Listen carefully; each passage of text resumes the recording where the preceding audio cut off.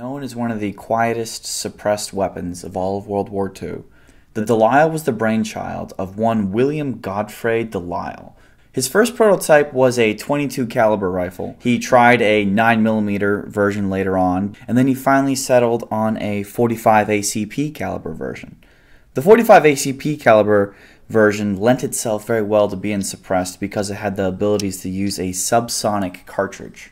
There were reports of British officers firing the Delisle off of buildings and into the Thames River in London to try to see if anybody on the street would realize that a firearm had just been discharged. There are other reports of the weapon's accuracy in which a British officer aimed at a duck some 200 meters away and took it out by a headshot on the first shot. However, the weapon's largest claim to fame was that it was supposedly the quietest small arm throughout all of World War II, comparable with the kind of accuracy and the kind of range it had.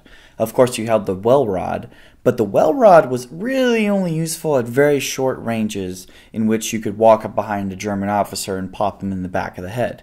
The Delisle instead was being meant to be used for you know 50 meters, 100 meters, or even 200 meters with a 45 ACP cartridge by commando teams during the war. Decibel reduction tests during World War II revealed that the lyle produced only around 85.5 decibels. Now realize this is subject to the testing materials, wind conditions, and various environmental factors that were around during World War II, so we can't go completely off of it. In addition, while you're watching myself fire the reproduction Delisle, realize that there's a lot that goes into all the audio quality on camera, even with very high level recording devices.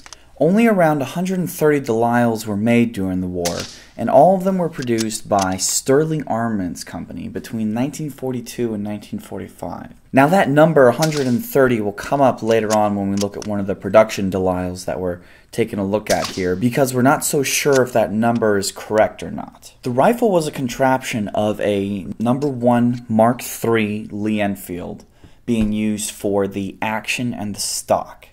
Then there was a tube that was added to this, which formed the baffle system. This is partly why the Delisle was so effective, because we're essentially talking about an 8 inch barrel surrounded by at least a foot plus of nothing but baffles lining the entire length of this barrel. So you can imagine there's tons of room for gases to bleed out and spread out in here with two vents at the muzzle.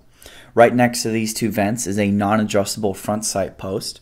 Moving down is a Lee Enfield rear sight. Behind the rear sight is a Lee Enfield Action with a modified 1911 magazine that has been inserted into a modified magazine well, and this can be depressed with the traditional Lee Enfield magazine release. Otherwise, the safety, trigger, magazine catch, and action can all be worked in the same exact fashion as a Lee Enfield number 1 Mark III or relatively similar to a number 4. This would have been very helpful for British soldiers in World War II because they wouldn't have had to learn a new weapon system in transitioning from a number 4 to a Delisle. The National Firearms Center has three different Delisle variants. The first one is one of the prototypes, of which 17 were made by Ford Dagenham. The prototype it has a very crude magazine well and it has a very rudimentary leaf rear sight. On the production Delisles, the official number is 129.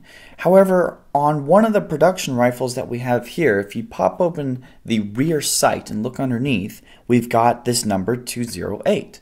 And the question begs to be answered of how do we have 208 on 129? Is it a mix match of parts or is this an actual 208th Delisle that has maybe been accidentally stamped 129? At this point in time and with the records we have now, we really don't know that the final answer and really can't be definitive and they have two commercial variants. One of them is a solid reproduction, but it's with Parker Hale parts. So it's probably made by Parker Hale as well. Another one is simply a suppressed Lee Enfield, which resembles a Delisle from afar, but really isn't a Delisle one bit. Bear in mind, there have been more reproductions made of the Delisle than the actual weapons count that we have here. Valkyrie Arms is another one of the reproduction companies that produce reproduction Delisles in the United States. These have been filed under the NFA Act, and you have to get a suppressor and a short barreled rifle license to own one of these. There are only about 167 of these Valkyrie Arms reproductions in the United States, so their cost has relatively gone up. In addition, there are a large number of Delisles out there that have a legal length barrel and that aren't suppressed at all. Thus, there's a lot of collector interest in the Delisle for just having a rifle that resembles what these commandos had during World War II. Not available at the National Firearms Center is one of the most rarely seen variants of the Delisle, and that's the paratrooper version, or the airborne version. Apparently, there's only ever been one example of this produced, and it is in the UK. However, it was not at the National Firearms Center. The only difference is that it has a pistol grip instead of a rifle length stock, and it has a fold-in stock that is essentially a Sterling submachine gun fold-in stock that is folded underneath the rifle when not in use. I'd like to extend a special thanks to the private collector that let me shoot his Valkyrie Arms reproduction Delisle.